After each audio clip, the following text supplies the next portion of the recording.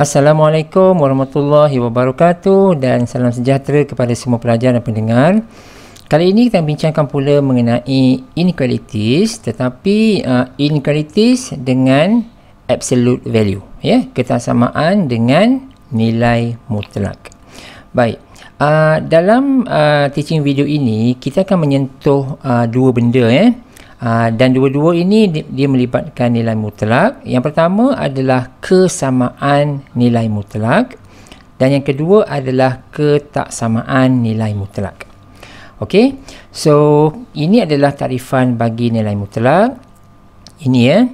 So, dan dan berikut adalah sifat-sifat nilai mutlak. Baik, ini yang kita akan perhatikan dengan berhati-hati di mana kita akan menggunakan semua sifat-sifat ini bergantung kepada soalan. Okey, yang pertama sekali adalah nilai mutlak ya, absolute bagi x sama dengan k. K itu sebarang sebarang nilai ya, sebarang nilai ya. So jadi ini adalah kesamaan ya kesamaan bagi nilai mutlak manakala yang dua dan tiga ini adalah ketaksamaan bagi nilai mutlak. Ya ketaksamaan. So jadi untuk yang kesamaan so si, uh, dia punya sifat dia kalau kita jumpa bentuk yang macam ini maka kita boleh tulis dia sebagai berikut. X sama dengan k atau x sama dengan negatif k. Ini yang pertama ya yang kedua, kalau kita jumpa bentuk yang macam ini, maka kita boleh tulis X itu duduknya di antara negatif K dengan K. Yang ini ya. Dan bentuk ini saya rasa saya dah bincangkan dalam teaching video sebelum ini. Kita juga boleh melihat ini sebagai dua komponen. Kita pecahkan dia, lepas tu kita gabung balik. Kita nak dapatkan dia punya intersection. Iaitu, bahagian pertama adalah yang ini iaitu x besar daripada negatif k satu bahagian satu lagi adalah x kurang daripada k satu bahagian ya yeah? so ada dua lepas tu kalau kita buat garis nombor kita uh, buat garis anak panah tu dan kita cantum balik ya yeah? cantum balik kita nak lihat tindanan dia dia samalah dengan uh, kita dapat balik yang ini sebenarnya ya uh, tetapi kalau cara yang saya sebutkan tadi tu yang alternatif tu adalah kalau bahagian tengah-tengah ni merupakan pecahan ya. Kalau pecahan better we do it that way. Kita pecahkan kepada dua bahagian dan kita cantum balik. Ya uh, itu hubungannya adalah dan. Ya itu sahaja hubungannya adalah dan. Yang lain semua atau. Nampak tak? Nombor satu ni atau. Nombor tiga ni pun atau juga Okey, cuma nombor dua ini kalau kita pecahkan kepada dua bahagian, kita dapat hubungan dia dan sebab kita nak mencari intersection. Okey. Habis yang itu, yang ketiga adalah jika nilai mutlak tersebut greater than a value.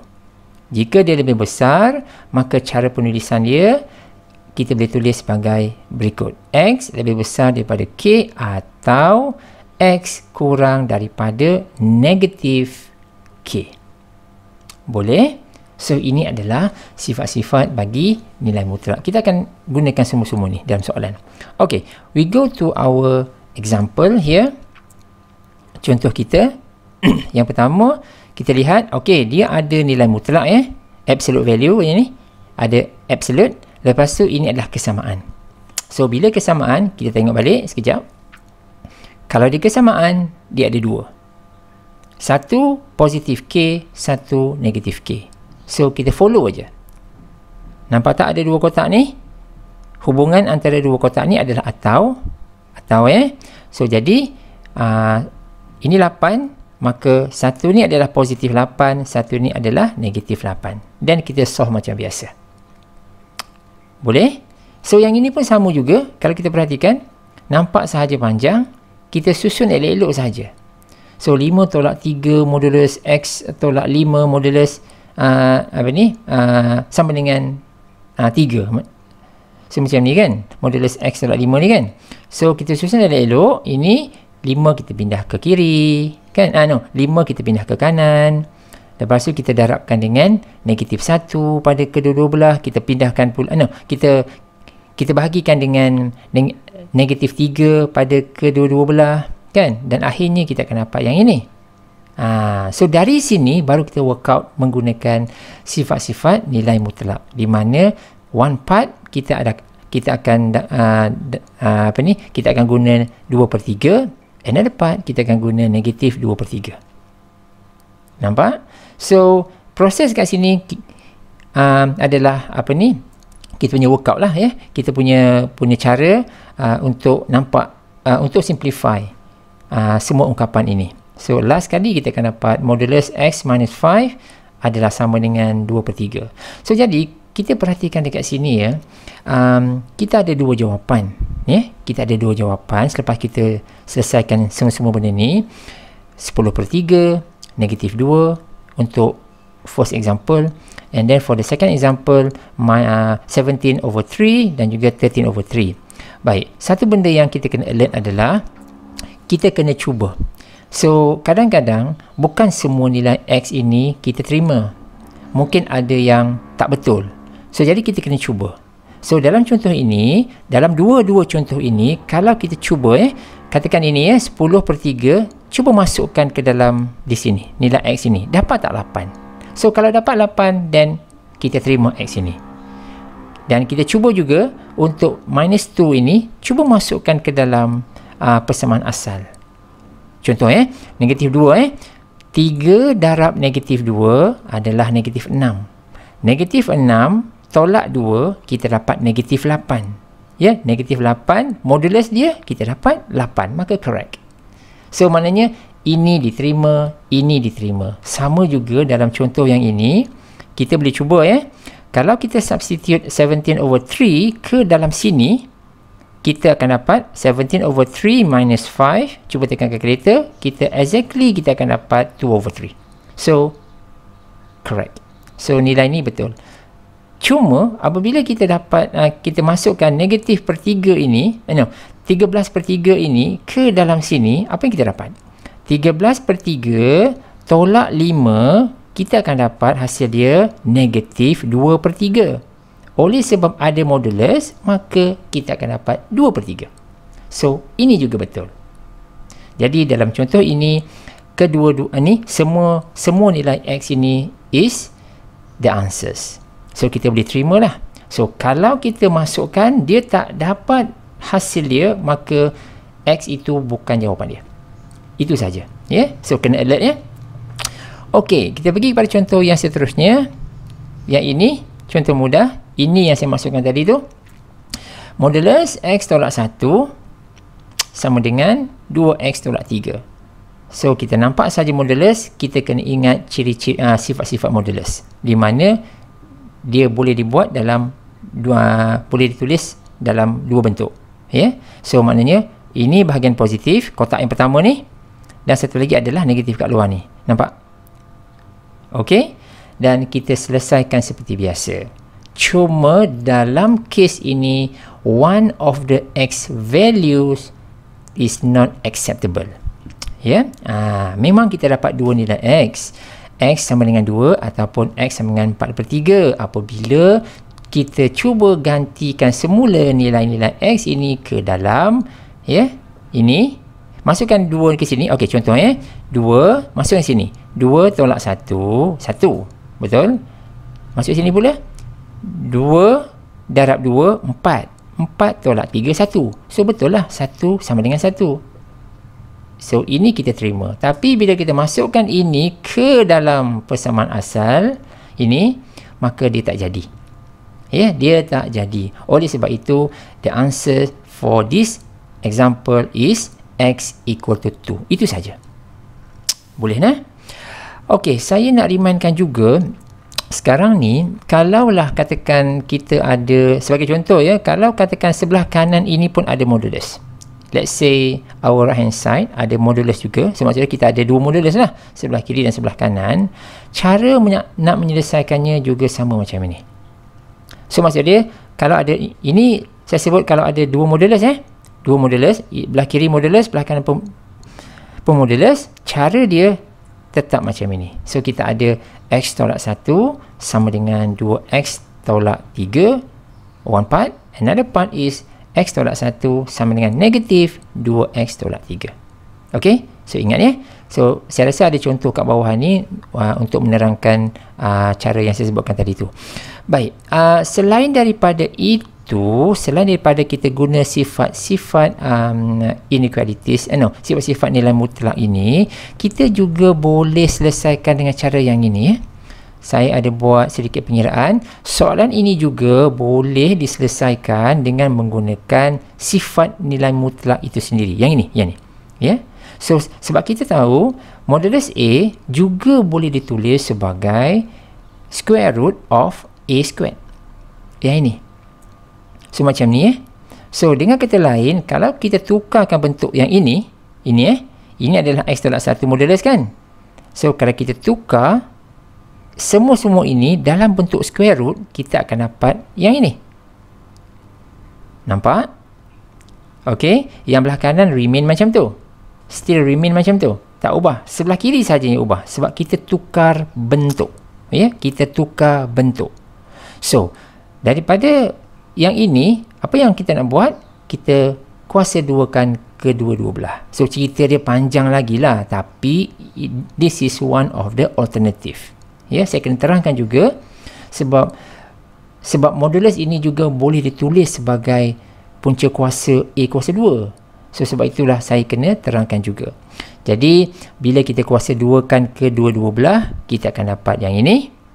Dan kita kena kembangkan, kena expandkan dia. So cerita ni panjang sikit. Dan kita kena selesaikan, kita dapat kuadratik, kita faktorkan dia dan kita dapat dua nilai X yang exactly sama macam yang atas tadi tu. Di mana salah satu tu tak diterima kan? So dia sama. Cuma ada sedikit notation dekat sini kalau kita nak menggunakan ciri-ciri modulus yang ini tidak digalakkan menggunakan kaedah ini terhadap ketaksamaan. Sekarang ni ini ini adalah apa? Ini adalah modulus, ini adalah kesamaan, ya? Tapi kalau ini adalah ketaksamaan, so di dicadangkan jangan guna cara ini. Ya? Ha, jangan guna cara ini baik kita guna cara sifat-sifat modulus tadi tu ha, yang tu nah. so saya kena buat reminder juga ini ya sebab mungkin ada di antara kita yang faham yang ini? Boleh tak kita nak guna yang ini? Tak ada masalah. Pasti boleh. Ya jawapannya pun sama ya. Ha, okey. Ini contoh lain. Ah, okey ini ah, okey ini dah ketaksamaan ya. Kita ada modulus kita ada inequalities. Yang tadi kita ada modulus, kita ada uh, apa ni? equality, kesamaan. Ini ketaksamaan. So jadi apabila ada ketaksamaan, sekejap kita kena back to kita punya sifat-sifat nilai mutlak ini ya, iaitu nombor 2 dan nombor 3. So kita kena guna either number 2 or number 3. Nombor 2 ni kalau less than, kalau nombor 3 ni is greater than. So kena ingat ni ya, kena ingat ini. Okey, sekejap. Okey guys, no. Now kita pergi kepada yang pertama. Yang pertama ini negatif, oh no, modulus negatif 3x tolak 2 less than and equal to 8.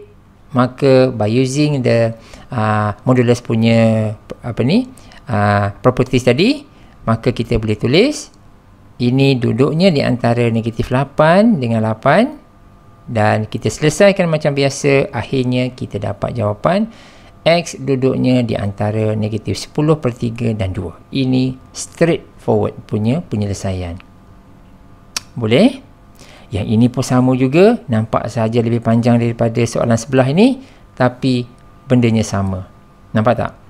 so kita fokuskan kepada dalam kotak ini dalam kotak ini kita ada apa? kita ada modulus less than 8 kan? less than 8 dan kita guna properties untuk modulus dan kita akan dapat 2x tambah 1 duduknya di antara negatif 8 dengan 8 selesaikan macam biasa dan akhirnya kita akan dapat jawapan berikut nampak tak? so maknanya kita hanya menggunakan ciri-ciri uh, sifat-sifat modulus pada soalan secara terus saja ok ada lagi tak? ok yang ini ok ini tandaan dah berubah tandaan tandaan dia lebih besar dari 5. So ini adalah sifat modulus yang ketiga tadi tu. Ya. Yeah? So, yang ketiga, cuba lihat kotak ini. Ada dua kotak kan? Hubungan dia adalah atau ya. Hubungannya adalah atau. So, jadi kita ada lebih besar daripada 5 dan lebih kecil daripada negatif 5. Ada dua benda. Nampak? So, jadi jawapannya adalah X besar dari 4 atau X kurang dari negatif 1. So, yang ini ya. Contoh lain. Yang ini pula hampir sama dengan contoh yang, yang di atas tadi tu.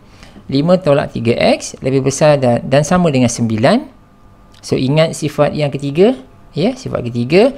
Kalau dia tanda lebih besar, maksud dia lebih besar dari 9 atau kurang daripada negatif 9. Kurang dan sama dengan dari negatif 9. So once this line correct, maka the rest will be no problem. Okay. So cuma dekat sini hati-hati ya. Uh, tandaan uh, inequalities tu dah berubah tau. Ini ya. So hati-hati kat sini sebab ada negatif macam ni kan. Bila kita kita buat dalam in, inequalities tandaan dia berubah. So boleh tengoklah tengok ciri-ciri inequalities dalam uh, teaching video sebelum ini. So yang ini pun sama, nampak tak? Ya. Yeah? Tandaan inequalities tersebut berubah. So ini jangan salah lah ya. So please alert dekat bahagian ini. Okay. Now, dalam bentuk pecahan. Okay, kita lihat dalam bentuk pecahan. Modulus dalam bentuk pecahan. Ya. Yeah. Contoh. Contoh, kita ada ini. Kita ada modulus. Ini dia punya ungkapan dia. Besar daripada 3. Okay, daripada sini, terus kita guna sifat-sifat modulus. Which is number 3. Nombor tiga tadi tu. Nampak tak? So, kalau dia besar dan sama dengan tiga, dia akan ada dua benda. Iaitu besar dan sama dengan tiga atau kurang dan sama dengan negatif tiga. Nampak? So, once kita dah dapat ini ya, box ni, ada dua kotak ni kan. Once kita dah dapat peringkat yang ini, maka proses seterusnya adalah proses yang telah pun kita belajar bagi ketaksamaan. Ingat lagi tak? So, sila rujuk kepada teaching video saya sebelum ini. Ini adalah ketaksamaan. Yang soalan ini adalah absolute values. Ini betul. Ya, ini adalah nilai mutlak, ya, modulus. Ya, yang ini adalah nilai mutlak. So, jadi nilai mutlak kita gunalah sifat nilai mutlak. Mula-mula kita kita guna sifat nilai mutlak tersebut, kita pecahkan kepada dua macam ni. Lepas itu nilai mutlak dah hilang yang ada adalah the ketaksamaan sahaja.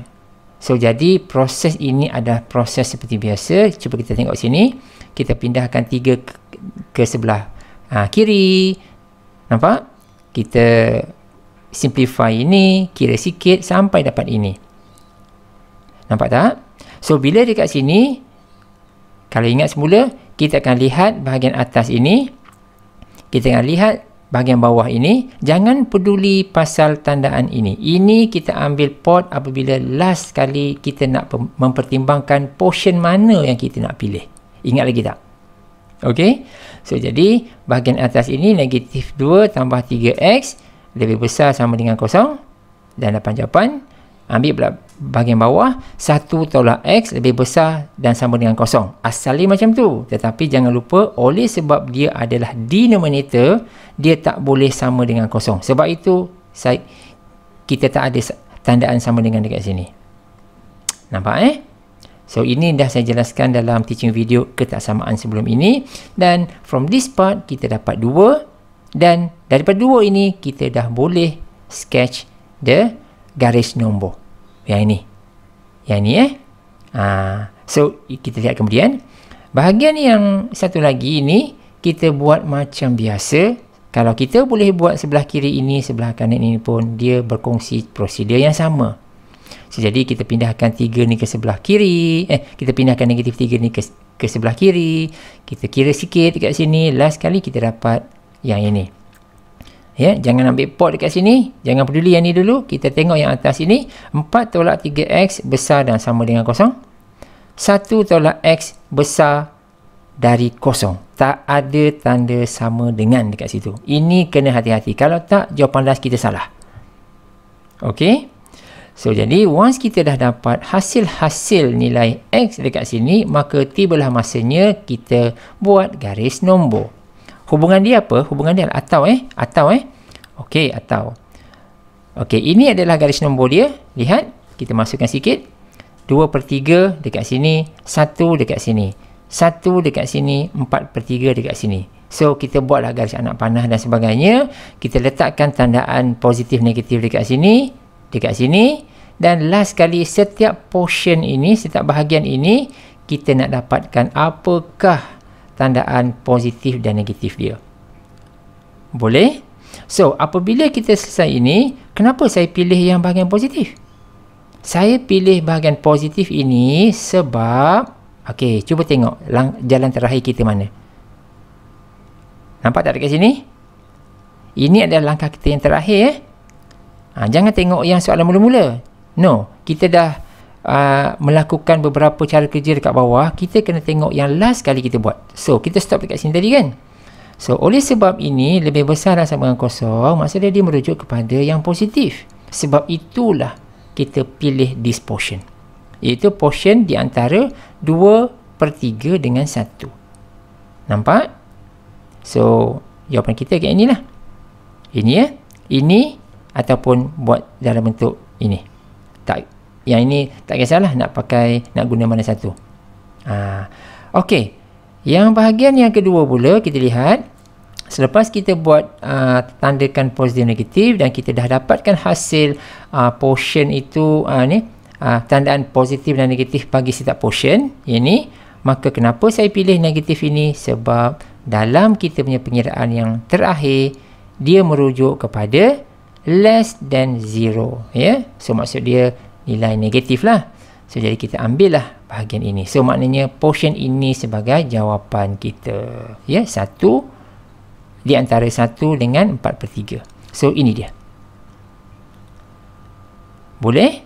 So itu adalah cara macam mana kita nak selesaikan kalau kita bertembung dengan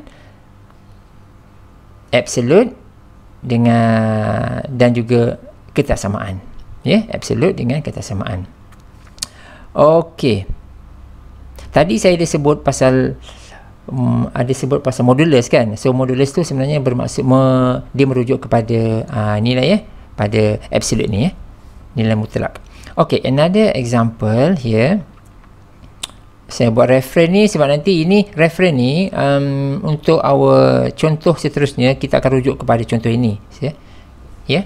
So saya buat notation sikit reference A sini. So yang ini pula. Okay now. Contoh yang tadi lihat. Ini lebih besar dan sama kan. So kita pakai sifat modulus yang nombor 3. Contoh yang berikut. Inequalitiesnya dah lain. Lebih kecil daripada 6. So dia kurang dari 6. So bila kurang dari 6 maksud dia kita menggunakan sifat modulus yang nombor 2. So nombor 2 bermaksud ya yeah, ungkapan ini duduknya di antara negatif 6 dengan 6. Yang macam ni ya. Eh? Okey. Now bila sampai dekat sini kita kena pecahkan kepada dua bahagian. Ini untuk memudahkan kita ya. So kita ambil bahagian pertama kat sini, yang ini, ini satu, Lepas tu ini dua. Nampak? Ini dua.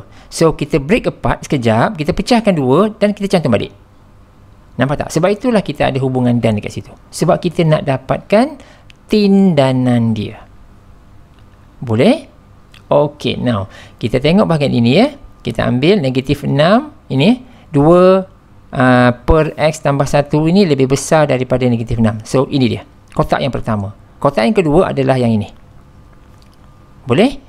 So proses ni macam biasa, kita pindah sana, pindah sini dan sebagainya dan kita dapat this part.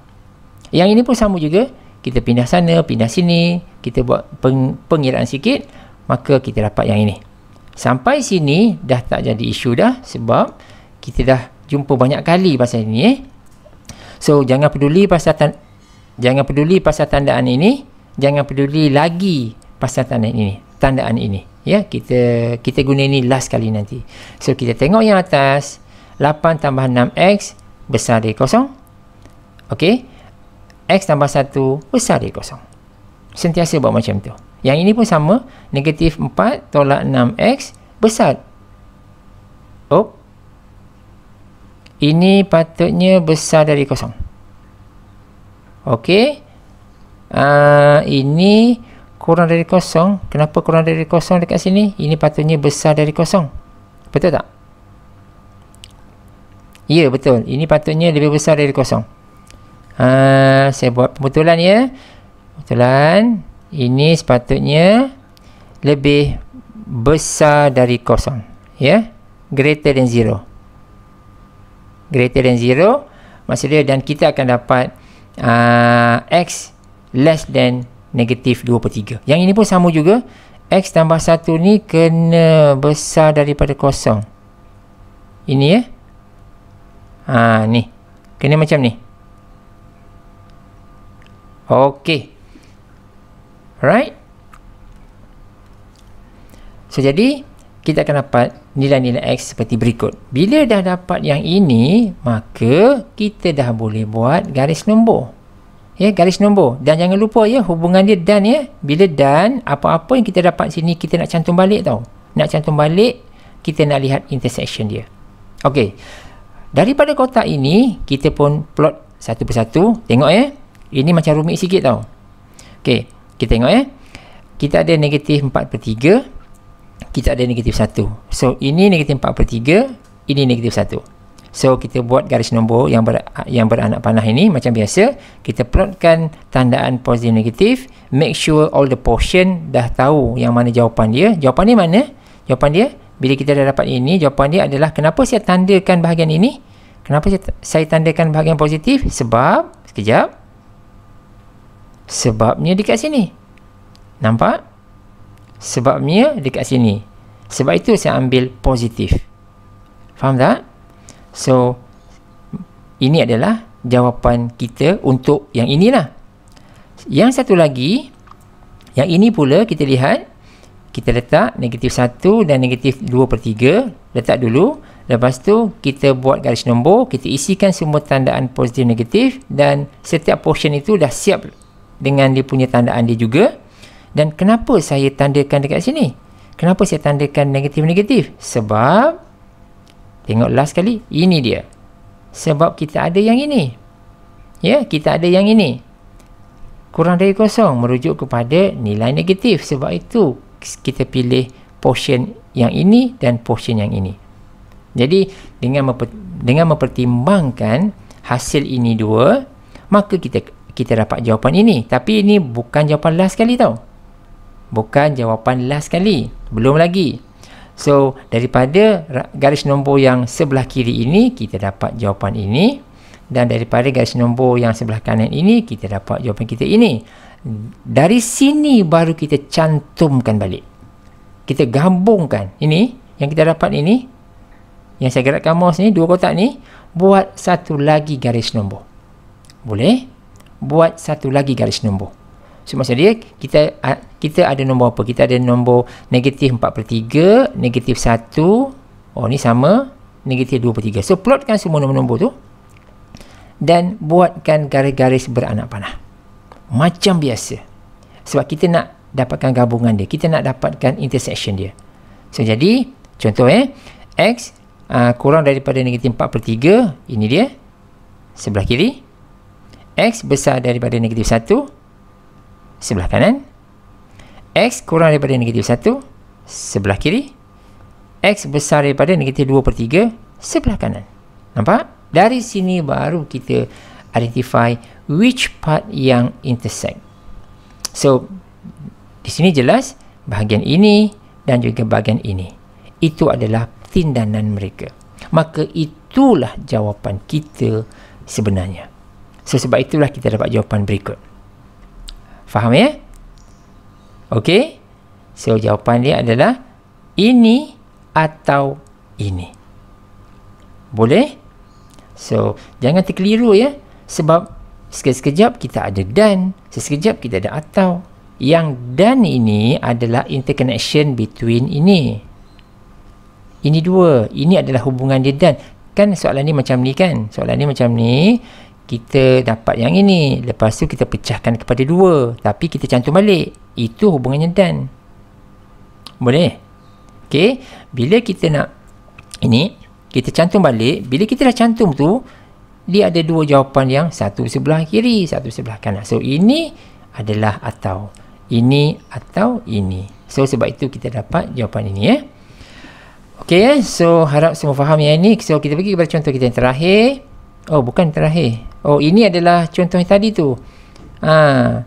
So kalau kamu ingat ada contoh kita sebelum ini, saya ada bincangkan kalau kita ada dua-dua modulus. Macam ni ada dua-dua uh, nilai mutlak. So ini mudah saja. So jadi kita yang perlu kita buat adalah hmm, ini. Nampak tak? satu yang positif satu yang negatif boleh ha, so macam itulah dan kita akan dapat jawapan straight away. Kita akan dapat jawapan 5 per 2 dengan ha, atau negatif 3 per 4 yang ini eh. So ada kaedah alternatif sama juga macam tadi. Kita boleh guna cara ini jika ada yang teringat ha, ini juga betul. Saya juga boleh gunakan. Dan tandaan juga adalah kesamaan. So kita boleh guna. Ya? Yeah? so kita tukar dulu bentuk dia tukar dulu bentuk dia dan kita akan kuasa duakan kedua-dua belah. Prosesnya macam biasa kita akan jumpa kuadratik. Ya yeah, ini dia. Jumpa, kita akan jumpa kuadratik dan kita akan dapat jawapan dia. Negatif 3 per 4 dan 5 per 2 just exactly dengan jawapan ini. Walhal ini lagi mudah lagi. Nampak kan? Okey, now kita pergi kepada contoh yang ini. Ini saya mohon kita cuba okey eh, kita masing-masing cuba. Rujukan dia adalah pada reference A tadi tu yang kat atas tadi tu. So di mana yang ini ada kedua-dua belah ada uh, apa ni? Uh, ada modulus. So jadi kita pun pindahkan ya. Yeah? Kita pindahkan dulu. So kita pindahkan pergi ke bawah belah kanan ni satu tau. Ya, yeah? kita pindahkan ke bawah ya. Yeah? jangan kita tol kita pindahkan ke sebelah kiri kita tolak jangan tolak macam tu ya jangan kita buatkan modulus 2x tolak 1 tolak modulus x tolak 3 uh, less than equal to 0 jangan buat macam tu. Ya kita buat macam ni. Ya kita buat konsep bahagi.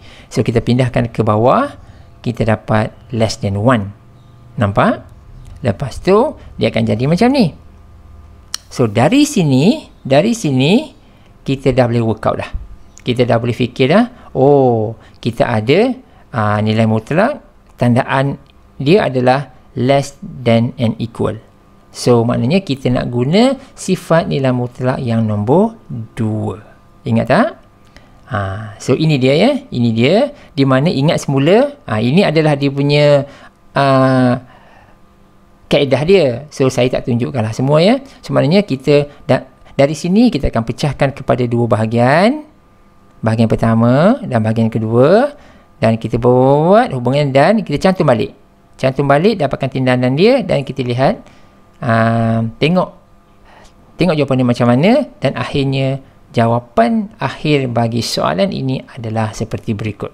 Ini mohon cuba ya. So, uh, the x values lies in between minus 2 and 4 over 3.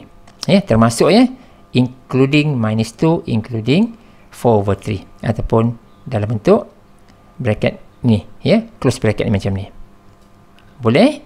So ini adalah salah satu contoh yang saya mohon kita cuba dan saya bagi jawapan dekat sini.